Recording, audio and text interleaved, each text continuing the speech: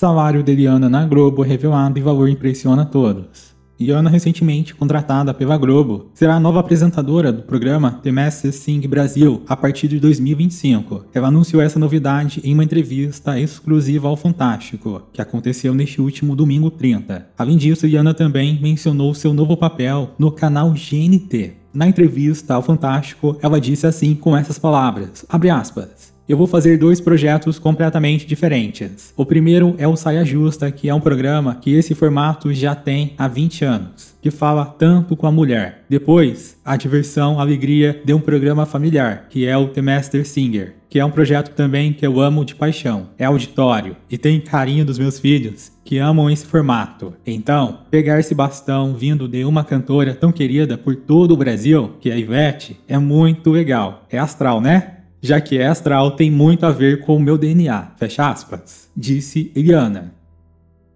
Agora, de acordo com informações do Observatório da TV, que revelou que o salário fixo de Eliana na Globo é de cerca de 340 mil reais por mês, sem contar na participação com merchants, bem menos que ela ganhava no SBT, que era cerca de 900 mil reais.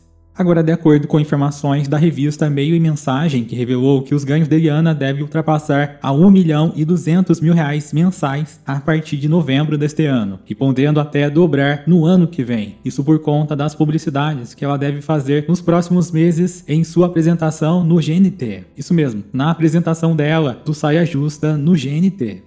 E ainda, o ano que vem ela pode dobrar o valor com a apresentação aos domingos com aquele programa de bonecos fantasiados, que é o The Master Singer. Estima que o patrimônio de Liana gira em torno de 180 milhões de reais, e cerca de 40 milhões estaria em nome de seus filhos. Então, para quem não entendeu, o salário inicial de Liana fixo é de 340 mil reais, segundo informações do Observatório da TV e o valor pode ultrapassar a 1 milhão e 200 mil reais no final do ano, por conta daquelas propagandas que tem na Black Friday, propagandas que tem no final do ano, perto do Natal, ela pode ganhar esse valor. E você, o que você pensa a respeito do assunto?